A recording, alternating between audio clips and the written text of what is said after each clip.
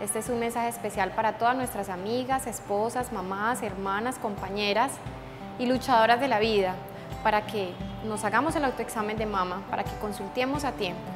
Un cáncer de mama detectado a tiempo es totalmente prevenible.